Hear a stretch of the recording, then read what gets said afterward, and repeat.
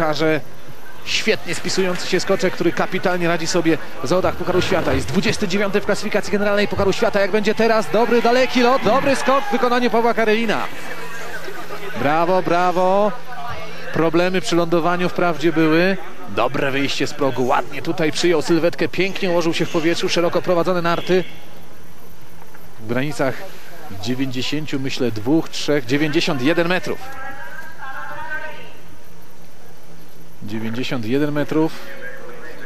Bardzo jestem ciekawy. Piąte miejsce jak naj- na razie zajmuje